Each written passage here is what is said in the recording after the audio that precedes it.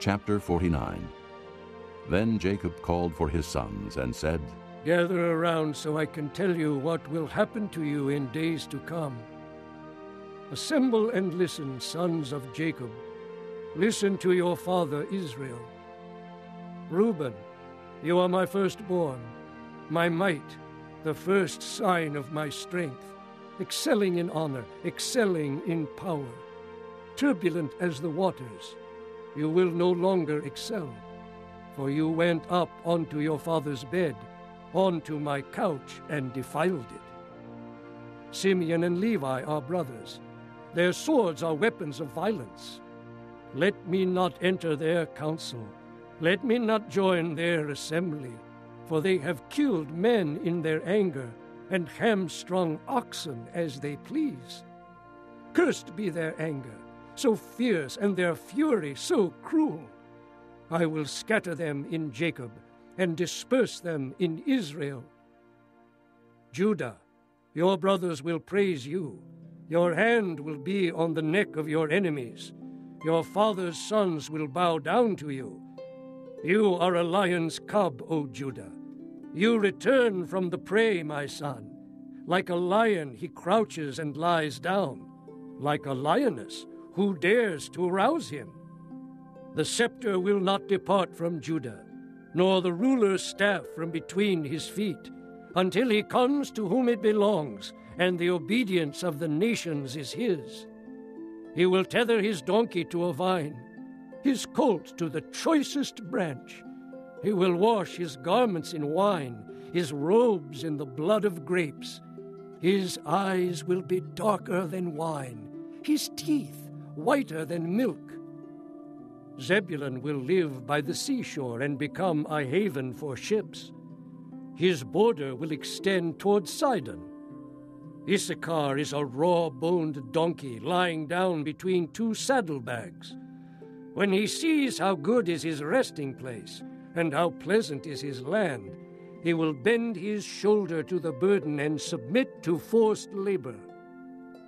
Dan will provide justice for his people as one of the tribes of Israel.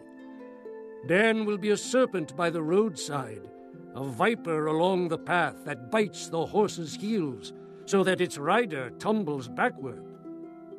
I look for your deliverance, O Lord. Gad will be attacked by a band of raiders, but he will attack them at their heels. Asher's food will be rich. He will provide delicacies fit for a king. Naphtali is a doe set free that bears beautiful fawns. Joseph is a fruitful vine, a fruitful vine near a spring, whose branches climb over a wall. With bitterness, archers attack him. They shot at him with hostility. But his bow remained steady. His strong arm stayed limber because of the hand of the mighty one of Jacob, because of the shepherd, the rock of Israel, because of your father's God who helps you, because of the Almighty who blesses you, with blessings of the heavens above, blessings of the deep that lies below, blessings of the breast and womb. Your father's blessings are greater than the blessings of the ancient mountains, than the bounty of the age old hills. Let all these rest on the head of Joseph, on the brow of the prince among his brothers. Benjamin is a ravenous wolf.